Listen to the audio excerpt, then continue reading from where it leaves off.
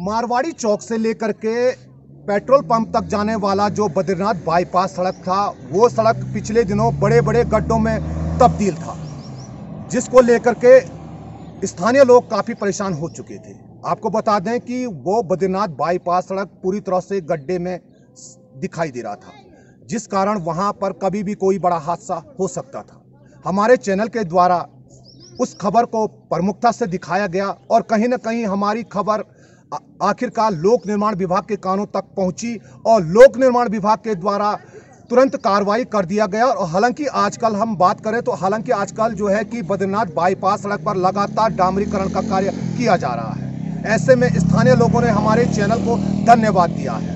और साथ ही साथ इस वक्त अगर हम बात करें तो स्थानीय लोगों में इस वक्त काफ़ी खुशी का माहौल बना हुआ है। मारवाड़ी चौक से लेकर पेट्रोल पंप तक जाने वाली बद्रीनाथ बाईपास सड़क पिछले दिनों बड़े बड़े जानलेवा खड्डों में तब्दील थी।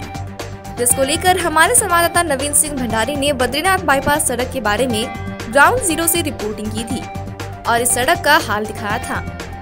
जिसके बाद कहीं न कहीं हमारी ये खबर आखिरकार लोक निर्माण विभाग के कानों तक पहुँच गई और लोक निर्माण विभाग के द्वारा इस सड़क के बारे में तुरंत संज्ञान लिया गया।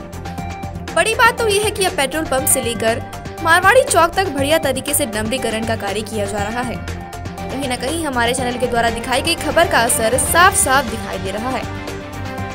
और आखिरकार अंत में सड़क पर डामरीकरण का कार्य तेज़ी से किया जा रहा है। आप अपनी स्क्रीन पर देख सकते हैं कि किस तरीके से बद्रीनाथ बाईपास सड़क पर लोक निर्माण विभाग सड़क कार्य में लगी हुई है। आप देख सकते हैं कि किस तरह से लोक निर्माण विभाग की सड़क बनाने वाली बड़ी बड़ी मशीनें सड़क निर्माण कार्य में लगी हुई हैं। जोशीमठ देवनगरी के लोगों ने हमारे संवाददाता नवीन सिंह भंडारी का दिल से धन्यवाद दिया है।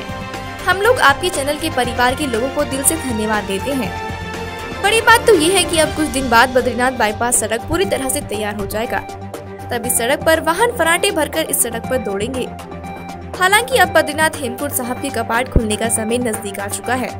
और इस वक्त इसी बद्रीनाथ बाईपास सड़क से तीर्थयात्री बद्रीनाथ और सातवीं हेमकुंड साहब की तक यात्रा कर सकेंगे। तीर्थयात्रियों को इस सड़क से आवाजाही करने में कोई दिक्कतों का सामना नहीं करना पड़ेगा। तीर्थयात्री आराम से इस बद्रीनाथ बाईपास सड़क से गुजरकर आराम से बद्रीनाथ और श्री हेमकुट साहब की यात्रा कर सकेंगे। कैमरा मैन साथी कन्हैया भट्ट के साथ नवीन सिंह चमोली।